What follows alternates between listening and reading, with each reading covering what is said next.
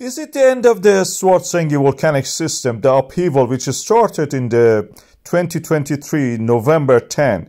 We had the earthquakes resulting from the North American plate and Eurasian plate being in that system on the Reykjanes Peninsula and the extension causing earthquakes. The earthquakes which actually created the Atlantic Ocean in the long run had the earthquakes and led to evacuation of the town of the Grindavik, a town, a fishing town, a small town with a population of around 3,000 to 4,000 people. Different uh, statistics exist about that. And the creation of the chasms and the cracks in the town. Unfortunately, one person during the repairs of the roads fell into one of these cracks with the machinery and lost his life. Uh, the town is on this practically a rift valley, and that's the reason the harbor exists. Since then, we have several eruptions, and the pattern of the eruptions shows that the vigor and the level of the activity is reduced by each eruption, even the volume of the magma and the duration of it is reduced. So what we are seeing is that a diminishing level of activity in the Svartsengi volcanic system from the December to January and February and now March 2024. Uh, from last year to this year. We are seeing it now. It seems that the last uh, situation we had didn't actually materialize in the early March into an eruption.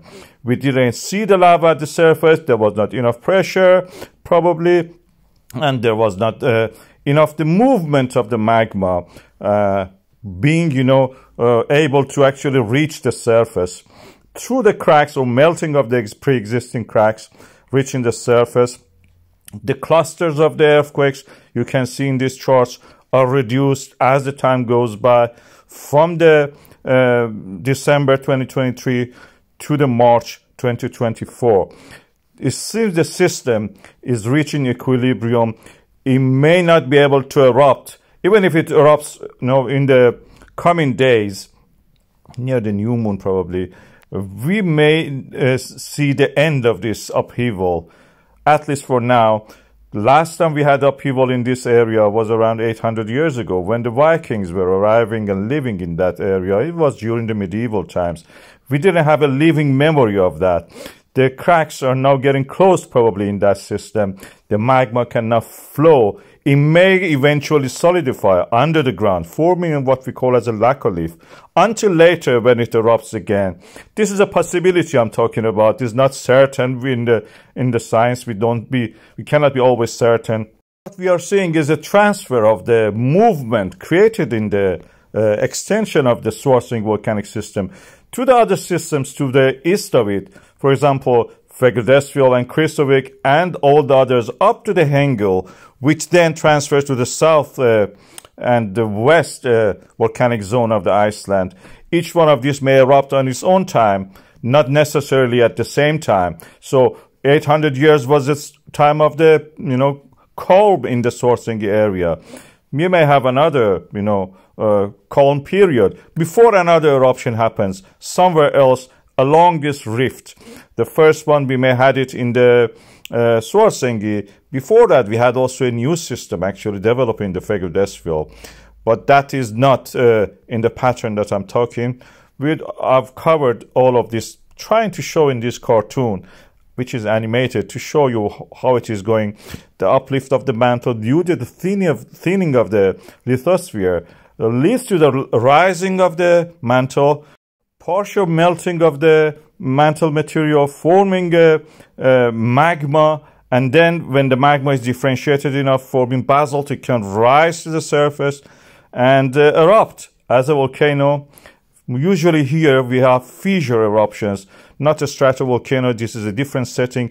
Migration of the magma also may happen. The uh, volcanic system and impact on the uh, Grindavik was very well managed by the Icelandic authorities and the people compared to, for example, something recently in Turkey and Syria, which we had a, uh, earthquakes, large earthquakes in the Richter scale, causing death of uh, probably thousands of people. Destruction was vast and uh, it didn't make uh, as much as into the news media. And as long as it's finished, the world also forget about it. Although we know that, for example, in Syria, it will continue even to be impacted. Even the people after earthquakes were attacked by a neighboring country who bombed there on a daily basis with missiles and rockets or sometimes weekly basis. Uh, so in that sense, Iceland was very well managed with this, and the media also didn't lose interest in that, and the coverage continued.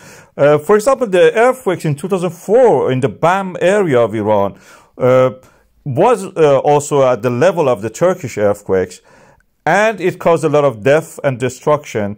And immediately after that, or just a few weeks or months after that, probably, new sanctions were put on the on the country of Iran by the world powers, and uh, the country con- uh, continued to suffer. Even they were not able to, you know, recover from that. In that sense, I think Iceland was really well managed. The situation, the coverage in the media, the control, you know, the way that they directed the media to the, you know, situation uh, in the YouTube, in the uh, you know foreign media, even by the Icelandic authorities and their own you know efforts to provide the infrastructure, internet uh, uh, connection, uh, hot water system, electricity, all provided at a high standard by the authorities and by the system that was already in place in the infrastructure and everything. And people are very receptive also to the health and safety concerns